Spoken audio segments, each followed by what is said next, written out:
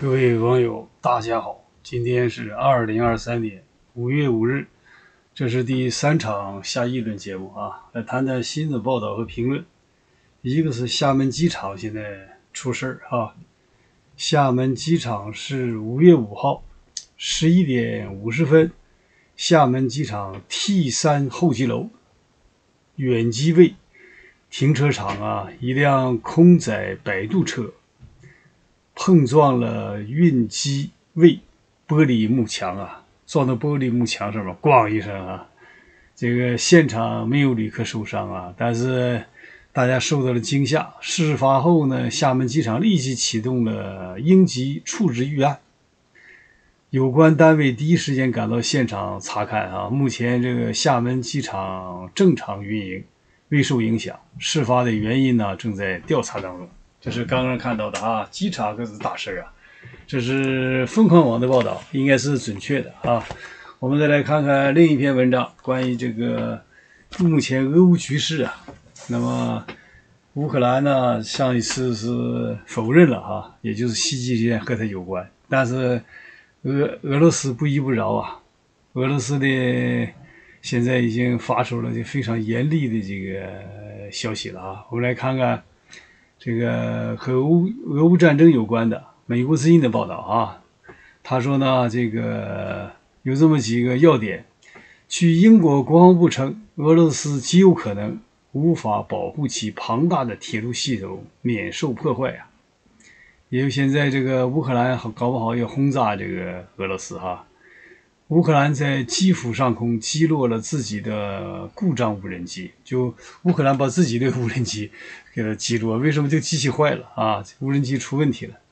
呃，乌克兰总统泽连斯基在海牙国际刑事法院呼吁调查普京，要追究他的战争罪。还有俄罗斯指责美国策划了对克里姆林宫的无人机袭击，华盛顿否认。呃，俄罗斯南部炼油厂遭无人机的袭击，还有基辅奥德萨遭到俄罗斯导弹和无人机的袭击。现在无人机在战场上扮演着非常重要的角色啊！我们来看看内容，详细内容说，英国国防部将俄罗斯在乌克兰接壤地区的铁路事件，呃，最近有所上升，归因于不明行为者的蓄意破坏。应该当应该讲，就是乌克兰搞的，对不对？说说是这个在乌克兰接壤处的铁路啊，俄罗斯在这个地方有接壤，两国交界的地方。是英国国防部星期五在推特上说，这些袭击几乎可以肯定导致了俄罗斯军事铁路运输的短期局部中断，因为它补给啊，什么枪炮子弹呐，这些其他的资源都是靠铁路运输啊，这个中断以后挺麻烦。英国国防部说呢，俄罗斯铁路旅。可以迅速恢复铁路，他都有铁道兵嘛。说然而啊，俄罗斯的内部安全部队将面临越来越大的压力了啊，顾这头顾那头。他说很可能仍然无法完全保护俄罗斯庞大而脆弱的铁路网站网络免受攻击啊。与此同时，乌克兰呃也出了事儿了。周四晚上，在基辅市中心，在市中心呢，他自己发了一个无人机，竟然出了故障了，他是要击落了啊。政府官员说这家。叫贝拉科塔尔 TB 二无人机是敌方无人机，但后来空军表示这架无人机是俄罗是乌克兰自己的。你看这信息挺混乱，刚开始指责是俄罗斯的，其实不是啊。说乌克兰军方在一个声明中讲，无人机在空中不受控制的存在可能导致不良后果。呃，无人机被击落以后，没有任何人受到受伤啊，这是一条消息。说星期四早些时候，乌克兰总统泽连斯基还表示呢。呃，他相信俄罗斯总统普京最终会因为乌克兰入侵乌克兰而面临国际刑事法庭的审判的。这个在昨天媒体都已经热炒了哈，也就是泽连斯基在海牙国际法庭发表演讲了。这个俄罗斯的一个罪行导致了所有的罪行，他说这就是侵略罪，它是战争的开端，罪恶的开端是主要罪行，对这些罪行应当追究责任。他说在这之前是国际刑事法庭是。抓住了这个普京的把柄，是涉嫌将乌克兰儿童驱逐和移送到俄罗斯战争罪指控，啊，呃，移送到俄罗斯这个战争罪指控对普京发出逮捕令。泽连斯基在海牙讲，普京应在这座国际法制度因这些犯罪而被判刑啊。他说，而且我们相信，我当我们获胜时，我们会看到它发生，我们会胜利的。昨天我讲了，你只有打败了才能胜败啊。所以普京不在乎，普京不讲了吗？还威胁那些法官哈，说国际刑事法庭不起诉侵略战争罪，就侵略战争你不能起诉。但泽连斯基呼吁成立一个全面的法庭来起诉这一罪行。这是美国之音刚刚看到，因为它是大牌媒体，这个是非常重要的啊。其他有些媒体啊，应该讲啊，虽然有很多消息热闹，但是并不是什么准确的，未必准确啊。另外，在看到凤凰网刚刚发的消息，就是拉夫罗夫已经站出来这个吓唬这个这个泽连斯基了。拉夫罗夫是五月五号报道，俄罗斯外长拉夫罗夫说呢，莫斯科将对无人机袭击克里米林事件啊采取措施了。采取行动啊！这个拉夫罗夫说，这显然是一种敌对行为啊！现在开始要追究这个责任，而且要要采取相反的措施啊！那么到底什么措施他没讲啊？他原话是这样讲的：呃，基辅的恐怖分子不可能未经主人许可就擅自行事，这显然是是敌对行动。拉夫洛夫讲。这很清楚，我们不会以谈论是否是宣战理由来回应，而是报复以具体行动。意思咱们不打嘴皮子，下一步就开干。谁说他要开干什么？怎么干？说我们有很大的耐心。他讲了一句言语，就是俄罗斯有个言语叫什么？呃，俄罗斯人呢驾辕很慢，就是驾马呀，驾马车很慢的，但一旦驾起来，跑起来就会很快，哈。说是吓唬这个泽连斯基啊，拉夫罗夫表示啊，基辅和华盛顿否认与袭击克里姆林事件有关，并不意味着确实如此啊，他这样讲的。那么克里姆林宫早些时候发布消息称，五月三号凌晨，基辅政权试图用无人机对俄总统普京的官邸进行打击，两架无人机被破坏了，没有人伤亡，也没造成财产损失啊。俄总统新闻秘书佩斯科夫说呢，普京当天不在克里姆林宫。呃，现在外界有这么几种说法：一种说他是自自导自演的；一种说法是美国干，美国操控乌克兰干的；一种说是是境内的俄罗斯境内的反对派。说因为你看希特勒当年不就是那么多反对派暗杀他的事故一起接了一起啊，其中有一起扔炸弹。这个如果不是这个扔的发生意外的话，就把这个呃希特勒就炸死了啊！那谁知道了？现在很难讲了哈。这是今天一个这么讲。到目前为止啊，我看到了很多消息啊，有一些它都不靠谱，有些是热闹，热闹我们不能编造哈。本人这个平台是一个很严肃的这样一个媒体啊，偶尔就是给你们加点文学描写，要不忽悠忽悠谁看是不是啊？但是基本上来讲还是很认真的啊。那么，而且凤凰网今天已经讲了，呃，俄瓦格纳集团的创始人呢说，瓦格纳部队将在五月十号离开离开巴赫姆特哈，呃，这是一个非常重要的消息。我们点开看看，其实也就两行字儿吧。说当地时间五月五号，俄罗斯的瓦格纳雇佣兵集团的创始人就叫普里戈金，他说的啊，他说由于啊缺乏弹药，瓦格纳这部队啊可能。马上就要离开这个啊，在时间都定了，五月十号就离开巴赫姆特了。离开以后呢，他把这个权力都交给谁呢？国防部的这个所属的部队啊，你自己玩吧，普京啊，其实就是和普京翻脸了呗，哥们拜拜了。这个非常有意思啊，因为他这样的话，他就打不下去了，他在根本没有枪炮子弹啊，他不是说不给这个，我估计可能是一个是他有矛盾。啊，另外他对这个瓦格纳也是防一手，另外一个可能的确是捉襟见肘了啊，实在是囊中羞涩了，也没有办法。那么我们再来看看这个另一条消息啊，也就是现在这个呃美国之音呢，这个刚刚发布的消息哈。我们来看这消息，他讲什么？他说这个呃，一血长堤呀，人民币逐渐的，然后突然的撼动美元。就是中共要争老大哈，在这货币体系要改变，想问摆脱美元呐。这个美国之音报道了，他说，尽管人民币在国际金融体系中的排名远在其他货币之后，但近年来有关其是否取代美元的讨论一直是地缘政治中热门的话题。中国官媒最新数据显示，三月份就跨境交易的人民币收支的金额呢，第一次超过美元了。这的确是有些起色哈。中国的官方官方数字啊，成为中国跨境交易中使用最广泛的货币，被认为是什么？中国撼动美元地位的一个里程碑呀。说无论是外汇储备构成，还是作为支付货币，呃，这一中国主权货币的占比仅超过百分之二。根本不成量，才百分之二，甚至不足日元的一半而美元地位仍然是坚如磐石。说你在这个世界上跟美国争老大，这个是可以难以想象的哈。本人认为，因为你这个货币得有信誉，对不对？尽管如此，说最近的一系列事件仍然令一些人士担忧啊，人民币续泻、溢泻，就是蚂蚁的蚁啊，一个占一个洞一个洞，慢慢来啊，最终会。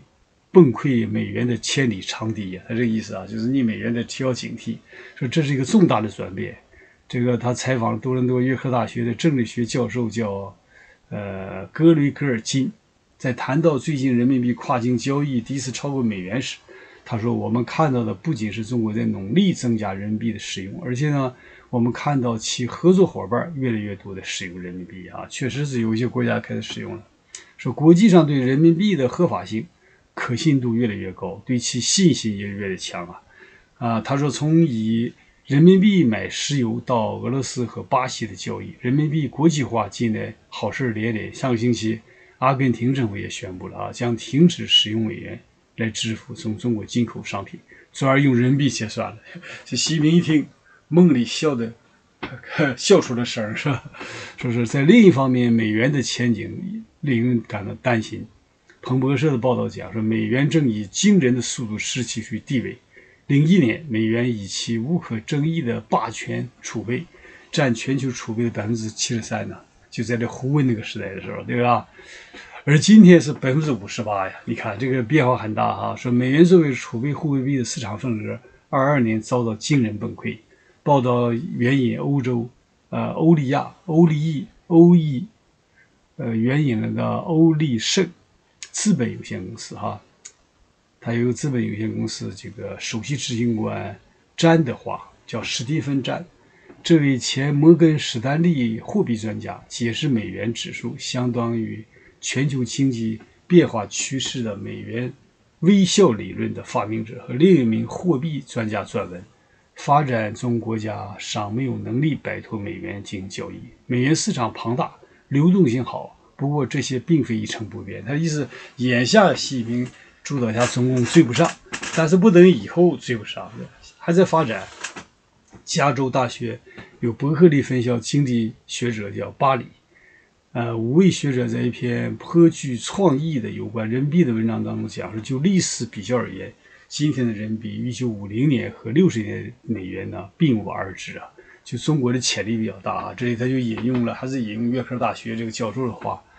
他人们所依赖的很多有关人民币国际化教教这个教数字啊数据啊，往往来自于环球银行间的金融通信协会，但是呢，该系统并没有涵盖所有交易，所以有可能低估了人民币的实际使用量就人民币可能理论上是这样，实际上更多这个意思哈。说比如在对俄罗斯的制裁问题上，你知道。如果中国、俄罗斯现在都使用卢布和人民币，那么你就难以纳入这 SWIFT 系统，就这个意思啊。他说：“说数字人民币的挑战来了。”胡佛研究所的高级研究员、斯坦福大学教授叫菲格森，最近在呃彭博社撰文，他说：“美元慢慢取代英镑的另一个原因是，当时美国的金融技术优于这个英国，而今天呢，历史重演了，中国开创了。”比我们在西方拥有的任何规模都要大得多的在线支付平台，你看支付宝，对不对？还有微信支付，中国在这方面确实是跨越啊，发展很快。说自自二零二二年四月开启首试点以来，中国呃数字人民币实现了发工资、公共服务缴费、发放贷款、跨境支付多个场景的应用啊。因为他这国家就这样嘛，他是专政权，领导一句话，高效，组织能力强。动员能力强啊，他确实这个是他的优势。说约克大学这个中国专家讲，他说中国是很多国家的第一大贸易伙伴。如果这些国家发现使用数字人民币可以高效顺利地处理他们的业务，没有什么风险，那么将他们部分的业务就转入到数字数字人民币，可以说是叫顺理成章啊。他你反观美国，美国就目前说不仅数字美元遥遥无期，就美国在这上面落后了，而且呢，美国科技大国地位也极不对称。美国的银行支付方式还在大量的信仰什么的传统方式，就美国现在落了一步了，在这方面啊，说美国只有一个私营的自动清算所和电汇运营商实时支付系统清算所，由二十五家大银行组成啊。但截至去年年底，美联储公布的拥有三亿美元或以上的综合资产的银行有两千一百二十四家啊。他说，斯坦福大学啊。这个著名的经济学家叫达菲，最近在谈到美国应如何改善支付系统时指出啊，美国银行在支付服务方面没有足够的竞争，创新速度也不够快，而且进入了支付服务市场的金融科技公司还面临太多监管不确定性，例如稳定币支付系统运营啊，最近放弃这一业务了。他说，目前当用户啊，刷信用卡或请求银行电汇时，钱不会马上转账，有严重的延误啊，更不用说高额费用了。就在这一方面远远落后了。而且美在美国现在最活跃的不就洗币吗？就是光棍搞的吧，结果还抓起来了，就挺有趣的哈。我估计搞这个货币的东西啊，电子货币啊，你还得政府来搞，政府绝对不能允许个人。你要个人搞大，他得整你。你看那赵长鹏。现在所有的这个币那个币，因为我没买过，我不懂啊，全都抓起来。那光棍也是一样，有没有可能是因为这个事儿，而不是因为别的，是吧？我搞这个政府搞币，你搞个币，他奶奶的，那我这让你，我能做是卧呃卧他之错自测，其中他人害谁？是是不是啊？政府手里有的是国家机器，把你修理修理就完了，对不对？这是我猜测啊，不一定对啊。最可是最近为什么没有光棍的消息了？光棍哪去了？现在这个反国的和和捧国的现在都不太活跃了，怎么回事啊？谁有这方消息发给我？这篇文章讲，他说目前呢，这个当用户刷信用卡或请求银行电汇时，钱不会马马上转账啊，这个不麻烦，是是数字人民币和数字美元，如果这有个挺方便的啊。他说监狱呢。呃，TCH 系统并不包括众多的地区银行，以及价格将过高，缺乏竞争。说美联储计划今年建，呃，夏天推出一个这个名为 FedNow 的快速支付系统，啊，这个以较低的成本实现这个即时转移现金。就美联储今天准备推出一个。推出这个 也不知道能不能行得通。他说：“不过达菲讲，不幸的是，该系统将各家银行最赚钱的业务直接竞争，啊，因此他们并没有动力来部署这个事儿。是这个美国人没有这方面动力，到底怎么事不太清楚啊。那这篇文章他就讲，他说无意为人民币国际化而放弃管制啊。他说，尽管人民币国际化是中国的一项既定的政策，但大量的迹象显示啊。”中国充分意识到了随之而来的负担和义务啊，说以及这些负担和义务可能给中国经济带来巨大的潜在风险，这其中包括什么币值潜在的大起大落，因为你有了数字人民币，交易起来更方便了啊，做空人民币对中国金融体系的攻击，而银行和金融系统是中国经济最为薄弱的环节之一啊。你说工党要是垮台的话会怎么样？这个人民币怎么办？怎么样？这很难讲了哈。你看国民党临临跑台湾之前进圆券不是吗？是吧？我听老人老年龄大的人讲，人那时候钱也不值钱，这一大麻袋就买一个煤球，买几个煤球。中国要垮台之前，就是说真正战争开打了，习近平跑了，这共产党垮掉了，我估计这个人民币可能就是废纸一样，一大筐一一麻袋去买个烧饼还买不着。这一天或许就会到来啊。我们来看看另一条消息：美国呀，军事上发展很快啊。说美国有种武器啊，很厉害啊。这篇文章介绍这个情况了，他是这样讲的哈。他说呢，呃，歼二十危险了。中国现在不牛吗？说自己现在是有有一款武器，就是飞机歼二十。说现在美国告诉他你危险了。为什么美最新超视距导弹威力惊人？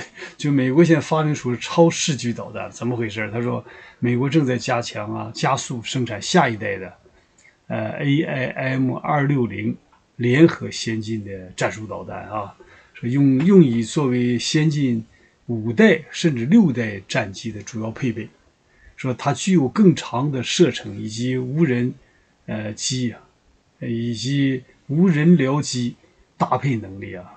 啊，使将将使得美军呢五代战机大幅提升制空能力和扩增作战半径，就一个打仗的半径增加了啊。大陆军事分析认为，这一款新一代的导弹将使得配备呢 PL 十五空对空导弹呢歼二十失去攻击优势了。如果这个发明出来，你那歼二十就没用了。在在对美国空军的呃超四距作战中啊，明显的落入下风了。这个消息谁发布？美国有一个动力杂志战区专栏啊，他说美军正在生产这个 AIM 二六零联合先进战术导弹。它除了是现有的哈这个幺二零 D 这个中程对空导弹的升级版之外，还有两个，还有一个重要角色，就是作为高度自主的无人中程僚机主要配件啊。这报道指出，今年稍早，美国空军部长叫肯塔尔宣布了啊，至少将获得一千架无人僚机，以及两百架下一代空中优势战机及第六代战机啊！你看，比拼这个军事有什么用？你这个钱干点什么不好，整天就搞这些东西，名堂啊！这个是真是匪夷所思啊！他说，这一千架无人僚机，呃，将分别与二百架。第六代战机以及三百架 F 三十五战机搭配，着手进行新的空中战术演习。其中，AIM 二六零导弹将在这种新的协同作战中担任非常重要的角色。那这篇文章可以这样讲：中共看的头都大了，说中中共认为自己这个搞歼二十还已经领先了这个哈，在这个战机这个领域啊。为什么现在动不动就要和美国争老大？就因为这设备厉害了。但是现在看来，两个人战胜美国难呐。这目前有有关这方面的性能啊，就二六零啊，还有这个服役的过程，美军透露的消息有限。去年内华达州叫内利斯空军基地的 F 二十二战机和四二二测试与评估中队负责人指出啊，准备在二三年夏天。就进行这个 AIM 二六零实弹的测试啊，那说不定夏天之前就打起来了，对不对？那么就来不及了嘛，对不对？他报道指出啊，AIM 幺二零 D 射程大在大约在一百二到一百九十公里之间而中共呢歼二十所配备的 PL 十五空对空导弹射程更远一点，大约是二百。呃，这也就是促成了美军开发它的原因啊。目前专家评估啊。呃，AIM 二六零的射程将在二百六十到三百公里之间，是这样一种一款武器啊。他说，目前呢，AIM 二六零的推进装置还没对外公开，可能是冲压式或者双脉冲式火箭发动机，同时将具有多种的探索模式，可能包括主动式相控阵雷达与红外红外红外成像设备。后者可以在面对低雷达可视讯号的隐形战机时发生这个导引作用。此外呢，由于将配备这个无人僚战机作战作战，啊，无人僚机战作战呢，AIM 二六零和 AIM 幺二零 D 一样配备双向数据链。你看多么繁琐！现在难怪现在中共开始招大学生啊、本科生、硕士生进入部队呀。但是你光掌握技术，这个东西虽然是是特长，但他们也会翻墙。翻墙一看习近平这些不好的消息，对他们对他们有影响啊。说这个这种武器能在发射后重新设定目标和导引方向方式。AIM 二六零的体积和这个幺二零 D 相同，以便能适用于 F 二十二和三十五的内置弹仓啊。